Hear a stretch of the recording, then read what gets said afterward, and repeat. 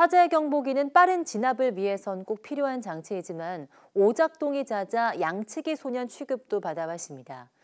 이를 보완한다며 소방청이 4년 전에 사물 인터넷을 접목한 신종 화재 경보를 도입하겠다고 했는데요. 정작 성능 검증은 없었던 것으로 드러났습니다. 이승배 기자입니다. 지난 2021년 경기도 이천에 있는 쿠팡 물류센터에 불이 나 소방관 한 명이 목숨을 잃었습니다. 화재 경보가 울렸지만 관리업체 직원들은 6번이나 비상벨을 껐습니다. 평소 같은 오작동이라고 생각했기 때문입니다.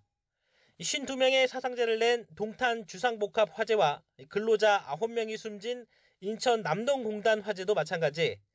이처럼 소방시설을 차단하거나 정지해 발생한 대형 화재는 매년 되풀이되고 있습니다.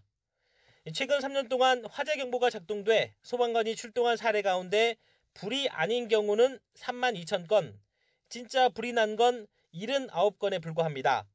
경보 오작동률은 99.7%에 달합니다. 이에 대한 보완책으로 나온 것이 사물인터넷 기술을 활용한 신종 화재 경보 시스템입니다. 소방청은 지난 2019년 아파트 같은 공동주택까지도 신종 경보 설치를 허용하는 내용의 개정안을 입법 예고하고 규제 개혁 사례로 소개했습니다. 하지만 3년 동안 논의 끝에 전통시장만 설치하기로 대상을 제한했습니다.